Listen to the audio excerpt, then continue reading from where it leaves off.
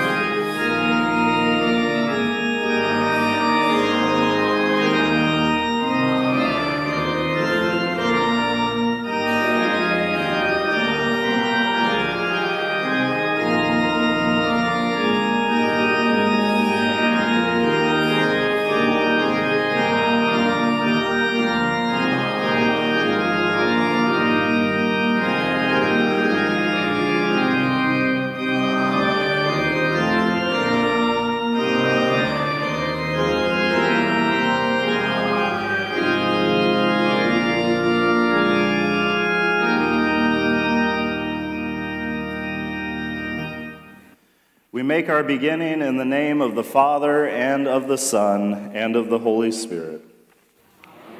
If we say we have no sin, we deceive ourselves, and the truth is not in us.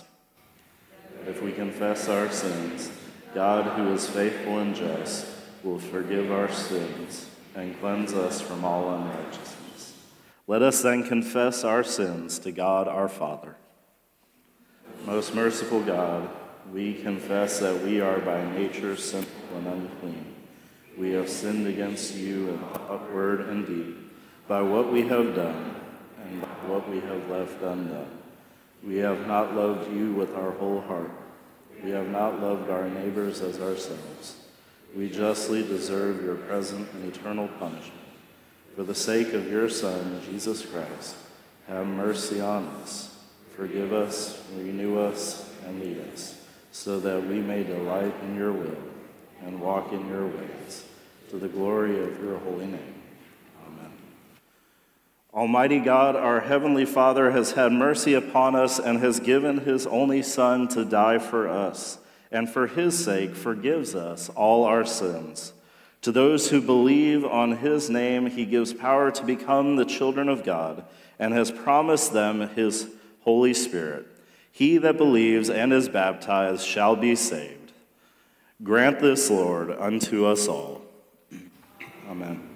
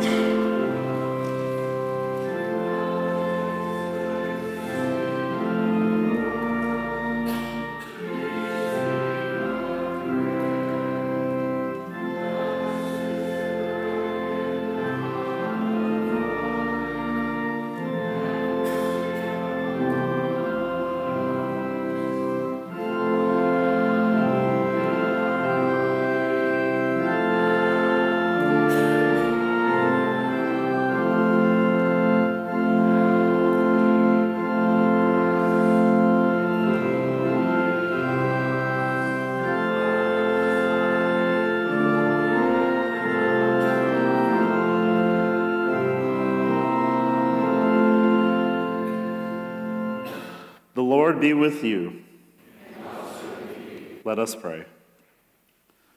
Almighty God, grant that we who have celebrated the Lord's resurrection may be your grace con- may by your grace confess in our life and conversation that Jesus is Lord and God through the same Jesus Christ, your Son, who lives and reigns with you and the Holy Spirit, one God, now and forever.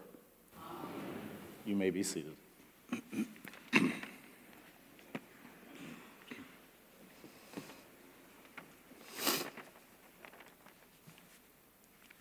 Our first reading from the book of Acts, the fourth chapter. Now, the full number of those who believed were of one heart and soul. And no one said that any of the, th- the things that belonged to him was his own, but they had everything in common.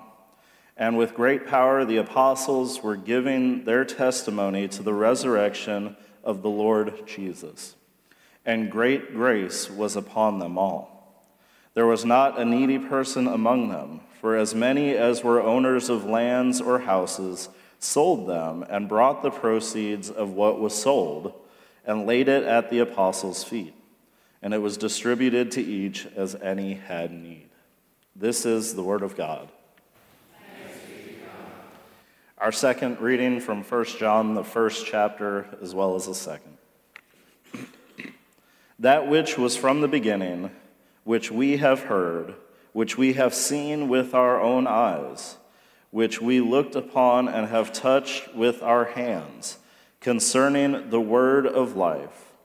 The life was made manifest, and we have seen it, and testify to it, and proclaim to you the eternal life, which was with the Father and was made manifest to us. That which we have seen and heard, we proclaim also to you, so that you too may have fellowship with us. And indeed, our fellowship is with the Father and with his Son, Jesus Christ. And we are writing these things so that our joy may be complete. This is the message we have heard from him and proclaimed to you that God is light and in him is no darkness at all.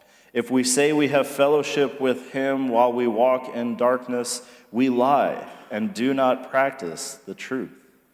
But if we walk in the light as he is in the light, we have fellowship with one another, and the blood of Jesus his Son cleanses us from all sin. If we say we have no sin, we deceive ourselves, and the truth is not in us. If we confess our sins, he is faithful and just to forgive us our sins and to cleanse us from all unrighteousness. If we say we have not sinned, we make him a liar, and his word is not in us. My little children, I am writing these things to you so that you may not sin. But if anyone does sin, we have an advocate with the Father, Jesus Christ the righteous. He is the propitiation for our sins, and not for ours only, but also for the sins of the whole world. This too is the Word of God. Please rise for the reading of the Gospel. The Holy Gospel according to St. John, 20th chapter. On the evening of that day, the first day of the week, the doors being locked where the disciples were for fear of the Jews, Jesus came and stood among them and said to them, Peace be with you. When he had said this, he showed them his hands and his side. Then the disciples were glad when they saw the Lord. Jesus said to them again, Peace be with you. As the Father has sent me, even so I am sending you. If you forgive the sins of anyone, they are forgiven. If you withhold forgiveness from anyone, it is withheld. Now, Thomas, one of the twelve, called the twin, was not with them when Jesus came. So the other disciples told him, We have seen the Lord. But he said to them, Unless I see in his hands the marks of the nails, and place my finger into the mark of the nails, and place my hand into his side, I will never believe. Eight days later, his disciples were inside again, and Thomas was with them. Although the doors were locked, Jesus, oh, I apologize. Jesus came and stood among them and said, Peace be with you. Then he said to Thomas, Put your finger here and see my hands and put out your hand and place it in my side. Do not disbelieve, but believe. Thomas answered him, My Lord and my God. Jesus said to him, Have you believed because you have seen me? Blessed are those who have not seen and yet have believed. Now, Jesus did many other signs in the presence of the disciples, which are not written in this book. But these are written so that you may believe that Jesus is the Christ, the Son of God, and that by believing you may have life in his name. This is the gospel of the Lord. You may be seated as we'd like to invite the children to come forward for a special children's message. And then after that, we will continue with our sermon hymn 735 Have No Fear, Little Flock.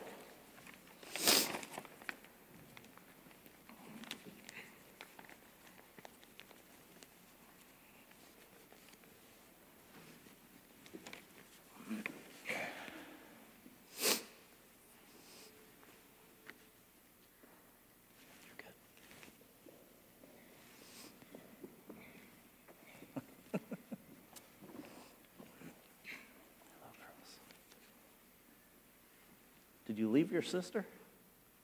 You did? Okay. Well, I think we got a couple more coming still. Don't worry, guys, we'll wait for you.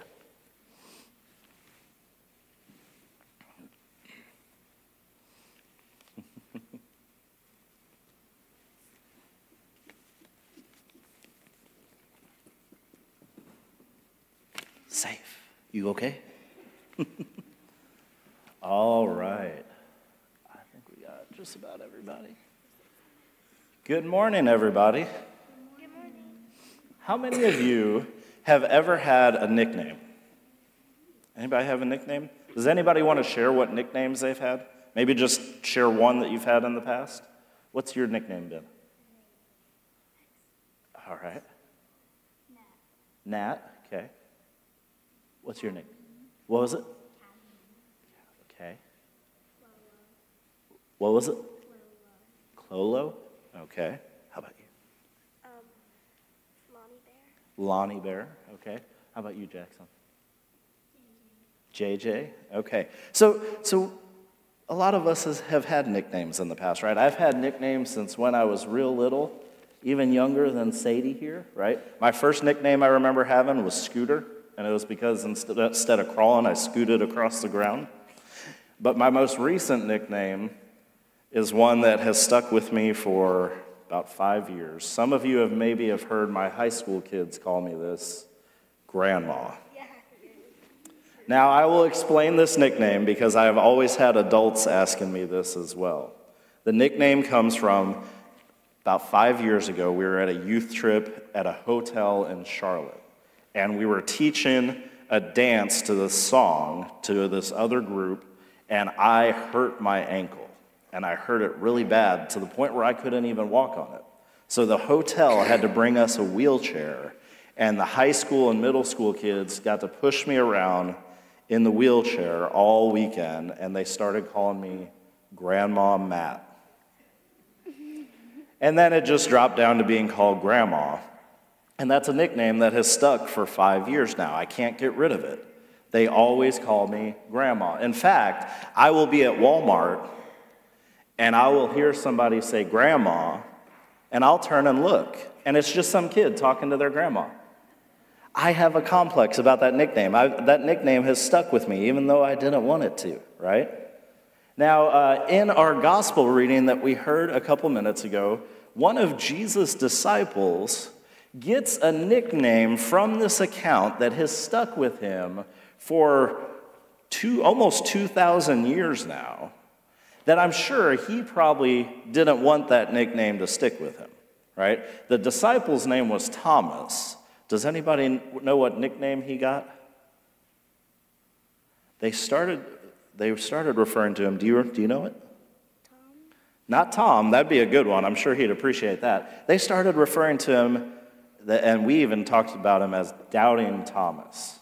You see, one day, Jesus' disciples were all gathered together, except Thomas wasn't with them, and Jesus appeared. All the other disciples got to see Jesus alive, and they were excited about it. So, after Jesus leaves and Thomas returns, they tell him. And do you think Thomas believed them? No, that's, that's where he get the, got this nickname, Doubting Thomas, that he said, Unless I, I see the nail marks in his hands and I put my finger in those marks, and unless I put my hand in his side where the spear went, he said, Unless I do all that, I will not believe. Now, eight days later, it tells us they're all together and Thomas is with them, and Jesus appears again. And he says, Thomas, put your hands in, my, in the, the holes in my hand. He says, Put your hand in my side. Stop doubting and believe, or stop disbelieving and believe. Yeah. Didn't it say that the door was locked? Yeah, the door was locked. Jesus just appeared, right? Now, Thomas didn't have to put his hand in Jesus' hands or his side. It just tells us that Thomas declared, My Lord and my God. That he believed from seeing Jesus there, but Jesus had some special words after that. He said, Have you believed because you have seen me? Blessed are those who have not seen and yet have believed. Who's Jesus talking about there? Those who have not seen and yet believe. Everybody, right? All of us, right? Those that we hear God's word, we haven't seen Jesus ourselves, but we hear his word and we believe, right? Jesus saying, Blessed are we because, not because we have seen, but because we believe that we have faith, right? That faith that he has given to us through the gift of his Holy Spirit. So, why don't we thank him for that faith this morning that we may believe that he is the Son of God, right? So, let's go ahead and pray and we'll thank him for that. Will you guys pray with me? Let's fold our hands. I'll say a line and you can repeat it back after me. Dear Jesus, thank you so much for the faith that we have so that we might believe in you. In your name we pray. Amen. All right, guys, thanks for coming up. You can head back to your seats.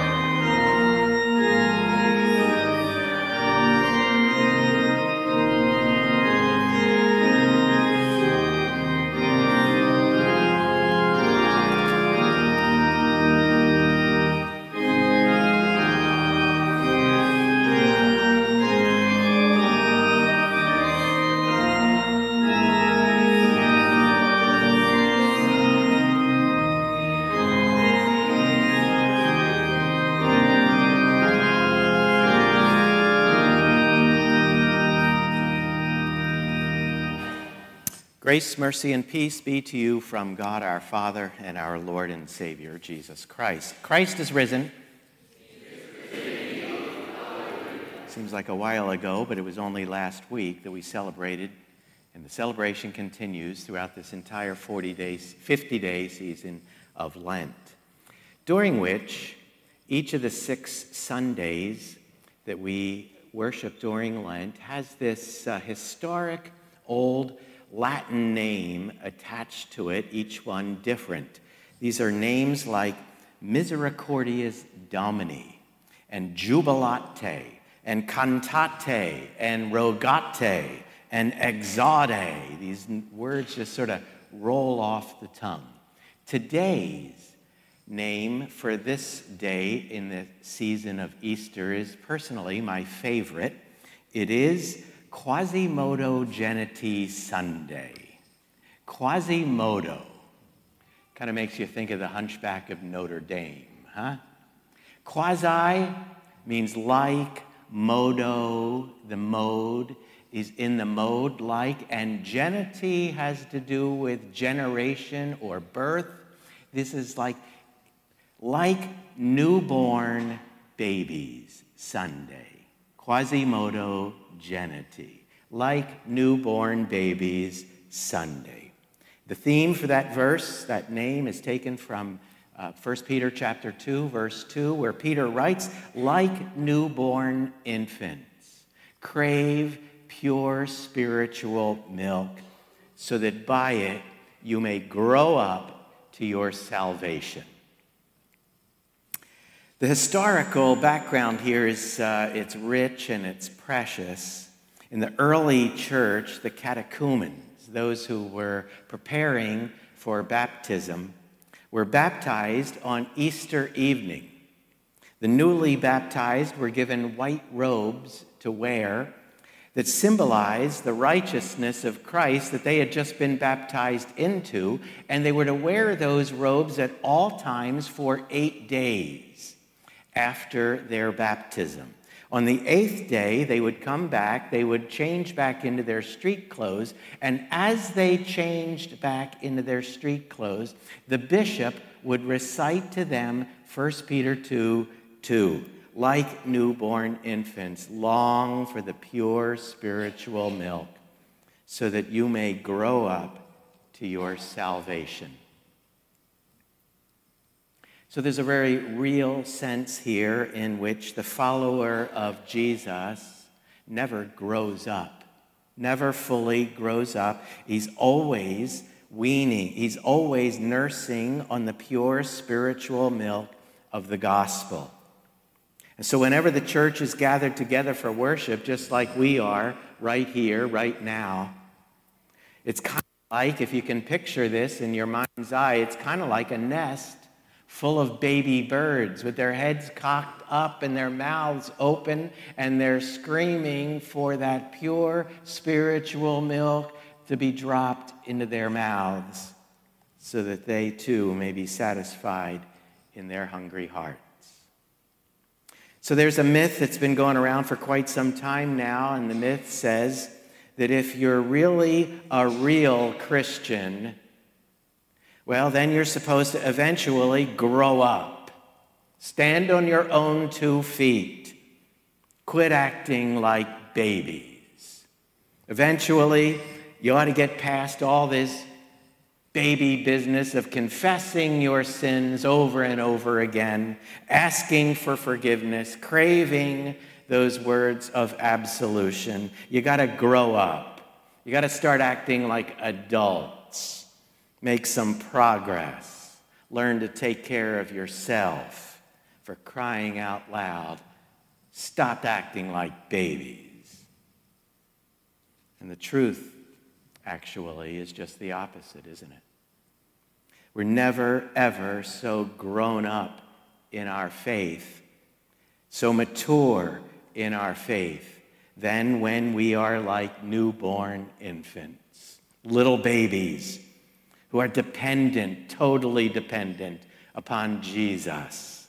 In fact, the more you grow up in your faith, the more you crave that pure spiritual milk that only He feeds us through His words and His sacrament.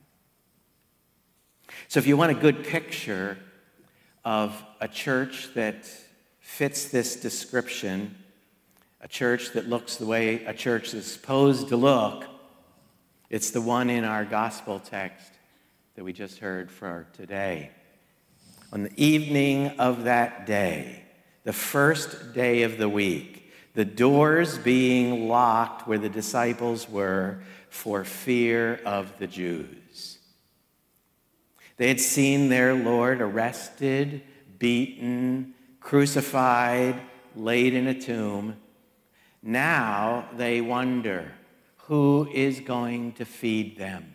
Who is going to protect them from their adversaries? Who is going to take care of them? How will they survive without him? So there's the conference that takes place every once in a while, and it's called the Courageous Churches Conference. This is not a picture of those who have just returned from that conference at all. They had been so bold and courageous before. Thomas, of all people, Thomas had said, Let us go with him that we may die with him. But as soon as the men with swords and spears showed up, they all ran away. And who knows, Thomas might have been in the lead. And now he's risen from the dead. And he's told the women that he wants to see them, which sounds, doesn't it, like thrilling news? Unless you're the one who's abandoned him, unless you're the one who's betrayed him, unless you're the one who's run away like a coward, like newborn babies. They're afraid for their life. What if he really is alive? What if he really does find us? And then, and then, Jesus walks right into their trembling and their fear. He comes right through the locked doors. He doesn't bother to knock. He doesn't wait for us to invite him to come into our hearts. No, he just walks through the door. He just comes to his infants as a hen to, comes to her chicks, as a good shepherd comes to his lost and trembling sheep. And immediately he begins to drop his food into their open mouths and feed their hungry hearts with his peace be with you. To be sure, this is no skim milk, not 2%. This is whole milk, the cream still on it. Pure spiritual milk, no additives. No laws or rules or necessary contributions or dues that's mixed in that you've got to pay before you can get it. No, this is pure gospel peace be with you. His words give just what they say, just what they promised to give all along. My peace I leave with you, my peace I give to you. Not as the world gives to you, do I give. Peace be with you. Do not let your hearts be troubled.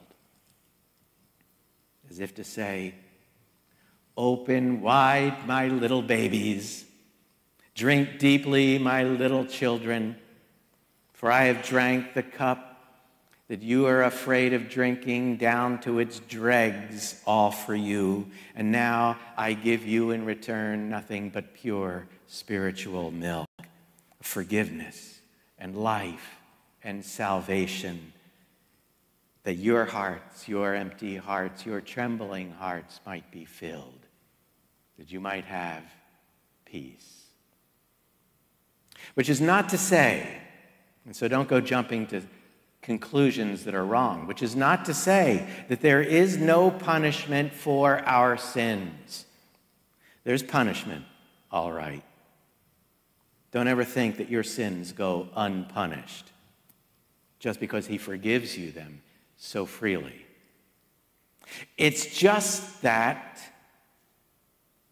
as the prophet has said, the punishment that brought us peace was upon him, and by his wounds we've been healed. And so when your heart condemns you, when your heart screams at you, when your heart tells you that even God couldn't forgive you for this, you recall those wounds, the blood that flowed from them and you let those wounds preach to you, saying, God is greater than your heart. After this, he showed them his hands and his side, and the disciples were glad. And he does the same thing still. He comes to you, his little babies, and he announces his peace to you, the peace of the Lord be with you. And he puts his wounded body right into your hands, and he pours out his precious blood right into your mouth. And like newborn babies, you taste the goodness of the Lord. And we have peace, a peace which this world cannot give. A second time, Jesus speaks his word of peace Peace be with you. With his first word of peace, he sets them free from all of their fears and he fills their hearts with joy, peace. Now, with his second word of peace, peace be with you, he says again. But with this one, he sends them to feed others with his forgiveness and his love. As the Father has sent me, I am sending you. And with that, he breathed on them and said, Receive the Holy Spirit. If you forgive anyone his sins, they are forgiven. If you do not forgive them, they are not forgiven. This is, for one of a word, this is Jesus' little Pentecost. He breathes his Holy Spirit upon those gathered in this room behind these locked doors. His big day of Pentecost is going to come 50 days later when multitudes are gathered together. But here he breathes on those whom he has raised up to be his apostles. Kind of reminds us about the beginning, doesn't it? In the beginning, he had breathed into the lifeless man that he had fashioned out of the dust of the ground, and the man, by the breath of God, became a living being. Now he breathes on these lifeless apostles of his, and he fills them with his new life. Just like he had breathed on those dry bones in the desert. And they came to life, a vast army now he breathes on these dry boned disciples, and they become the one holy Christian and apostolic church. He breathed on them and said, Receive the Holy Spirit. If you forgive anyone his sins, they are forgiven. If you do not forgive them, they are not forgiven. It's important for us to see what he's doing here. He is binding his word to their mouths. If they remain silent, so will his word, and his little babies will worry themselves to death. Rather, he puts his word of forgiveness on their lips and they're to speak it, because it is only in speaking it that they receive it. They're to speak his love and forgiveness and his peace to all who hunger and thirst for righteousness, of which there is no other kind of satisfaction. And all who will hear this apostolic word of forgiveness as from the Lord Himself receive it and are satisfied. Which brings us to Thomas. He wasn't there when Jesus came into the room. When Jesus fed his newborn infants. When Jesus showed them his wounds. And when Jesus breathed on them. Friends, this is what you miss when you miss church on Sunday. But the disciples do just what Jesus had told them to do. They breathed out the breath that he had breathed into them. So the other disciples told him, they spoke, We have seen the Lord. So that's the first recorded sermon that the disciples preach after their commission from Jesus. It's short and it's really sweet. After the big Pentecost, sermons will get much longer, even longer than this one you're sitting through now. But here, it's simply a matter of one eyewitness saying what their eye has witnessed. We have seen the Lord. It is an incredible sermon. But Thomas, you see, Thomas, he doesn't believe it. He can't believe it. Thomas has a problem with believing the word that comes from the apostles. In the Nicene, we say that we believe in the one holy Christian and apostolic church, which means that we believe the word of the apostles. But the New Testament really is. The apostles received the word from the word made flesh, and then they handed it down to us through the New Testament, the written word.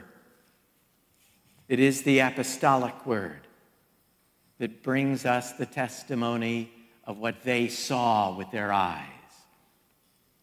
Thomas, however, is not well ready yet to confess the Nicene Creed. He could say, he would say, I believe in one Lord, Jesus Christ, who suffered and was buried. But what he couldn't bring himself to say, at least not yet, was, and on the third day he rose again. Because he didn't believe the apostolic word. You see, Thomas is no baby, he's a grown up. In fact, Thomas is a charismatic. He has to have more than just the word. The word's not enough for him. He's got to feel it, he's got to touch it, he's got to see it for himself. He wants a word directly from Jesus not from his apostles. Unless I see the nail marks in his hands, and put my finger where the nails were, and put my hand in his side, I will not believe it. And so one week later, we come to the second Sunday of Easter, that's today on the church's calendar. Once again, the disciples are in the room. Doors are locked once again. They're still afraid. They're still unsure. They're still like newborn babies. They don't learn things the first time. It takes a lot of repetition over and over again. It takes probably being here every Sunday, folks. Eventually, eventually, they'd leave the doors open. Their faith will mature. And when they leave the door open, Caiaphas and his thugs will come through that door and do to them just what they had done to Jesus. But by then, their faith will have matured. And in fact, they will become so mature in their faith that they will consider death for the sake of Jesus Christ the highest honor that could ever be bestowed on them. They will leave this world with a confession of faith on their lips and a song in their heart, proclaiming that word of forgiveness in the name of Jesus Christ that they are just begging to speak and declare. But on this night, on this night, Thomas was with them. And Jesus once again entered the room right through the locked doors once again, and he feeds his little babies once again, the same pure spiritual milk, peace be with you. You just can't get enough of it, can you? So please notice this. You got to notice this. There is, there is no scolding or reprimanding of Thomas. No lecture from Jesus. And what a disappointment Thomas is. You don't even get a, where were you last Sunday during church? Once again, he shows everyone in the room his wounds. And then he said to Thomas, Put your finger here. See my hands. Reach out your hand and put it into my side. Do not disbelieve, but believe. This is just the way it is with Jesus. He doesn't leave Thomas to drown in his doubts or perish in his unbelief. No, he comes to him. And he offers his side to, G- to Thomas's hand, and he speaks his forgiving words into Thomas's ears, just as he does for you. And by the power of that word that creates faith in the heart where it was once filled with nothing but fear, Thomas responds, My Lord and my God. There's a lot more than meets the eye right here, and you dare not miss it. What Thomas sees with his eyes and touches with his hands is the humanity of Jesus Christ. That is, he sees and he touches a human being with flesh and bones and blood. But what Thomas confesses with his lips is my Lord and my God. He sees true man, he confesses true God. In other words, Jesus gives Thomas exactly what Thomas had demanded from him and so much more. Historians record that after the big Pentecost, 50 days later, Thomas went to India, where he preached the good news about the death and resurrection of Jesus Christ for the forgiveness of sins, and he died a martyr's death. The Christian church in India, which is bigger than you would imagine, you'd be surprised. The Christian church in India to this day holds Thomas to be their patron saint. Today, the same crucified and risen Jesus Christ who came to Thomas comes to us, his newborn infants, huddled together here in this room. By his words and by his wounds, by his breath, by his spirit, he feeds us with the pure spiritual milk of his forgiveness and his life and his peace in all our disbelief and in all of our doubts, he invites us to reach out our hands and to take his body and to open our mouths and to drink his blood, saying, Do not be disbelieving, but believe. Happy Quasimodo Geniti to you all. Amen. We stand to confess the Christian faith in the words of the Apostles' Creed.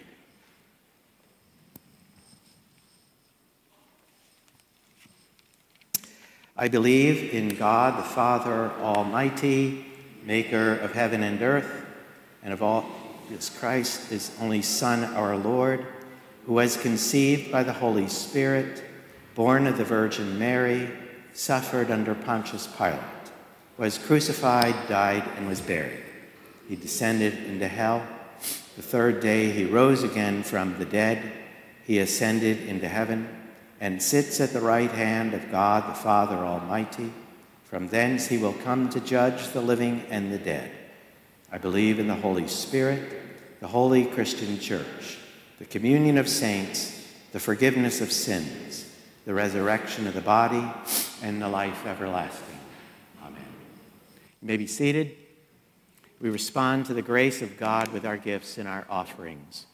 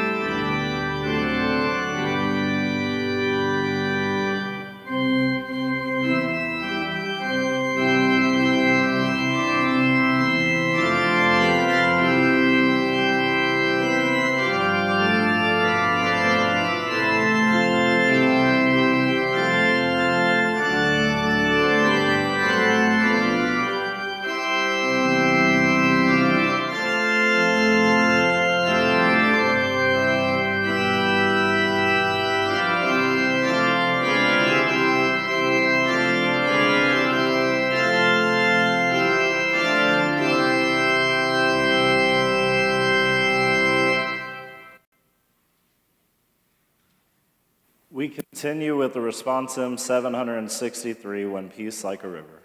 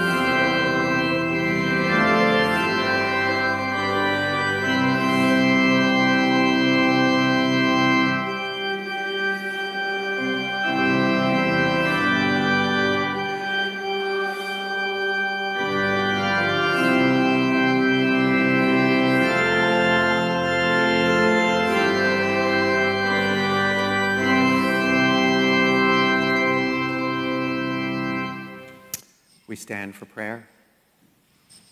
We pray for the whole people of God in Christ Jesus and for all people according to their needs.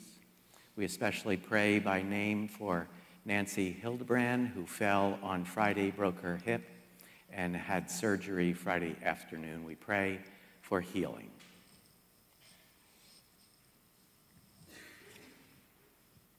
Heavenly Father, your Son is the firstborn from the dead. In him, we have been reborn into a new and living hope.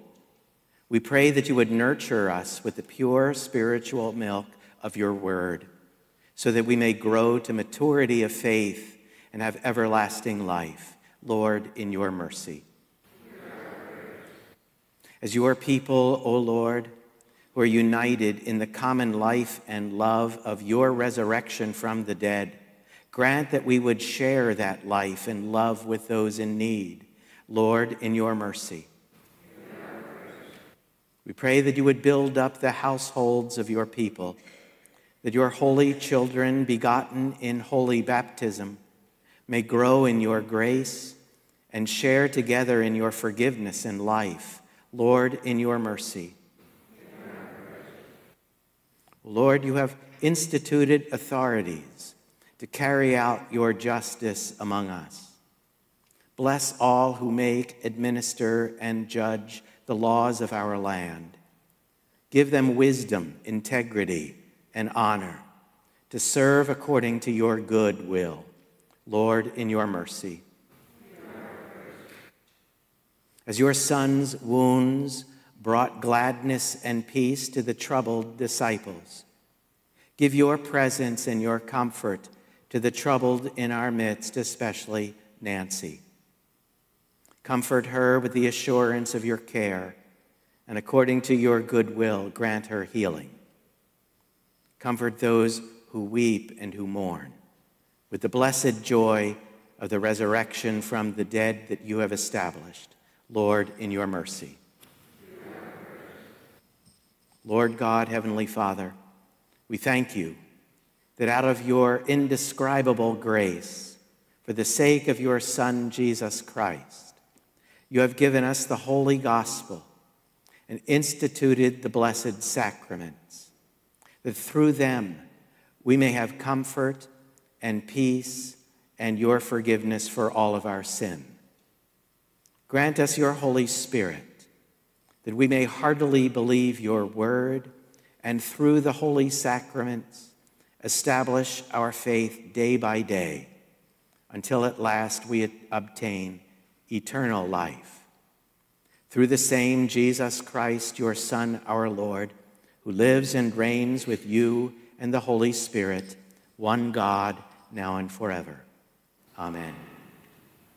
Hear our prayer, O Lord, as Jesus has taught us to pray Our Father, who art in heaven, hallowed be thy name.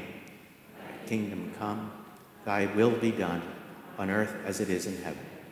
Give us this day our daily bread, and forgive us our trespasses, as we forgive those who trespass against us. And lead us not into temptation, but deliver us from evil. For thine is the kingdom, and the power, and the glory forever and ever. Amen. The Lord bless you and keep you. The Lord make his face shine upon you and be gracious to you. The Lord look upon you with favor and give you peace. Amen.